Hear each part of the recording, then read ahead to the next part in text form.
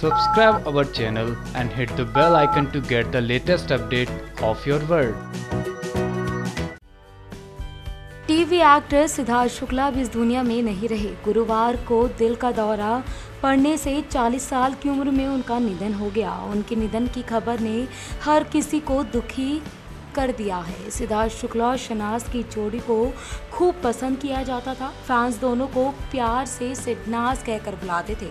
लेकिन अब सिद्धार्थ नहीं रहे। इस खबर को सुनकर शनाज का बुरा हाल है।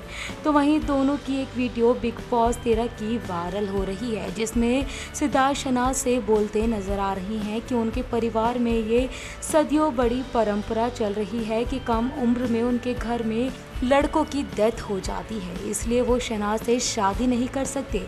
जी हाँ ये सिद्धार्थ खुद बोल रही हैं शनाज से। ये कितना सच है, ये तो सिद्धार्थ को ही पता होगा। लेकिन हमने तो सिद्धार्थ को खो दिया है। तो वहीं ये वीडियो देख कर तो ऐसा लग रहा है, शायद अपनी मौत का राज जानते थे सिद्धार्थ। वैसे सिद्धार्थ की मौत के बाद शनाज का बेहद बुरा हाल है।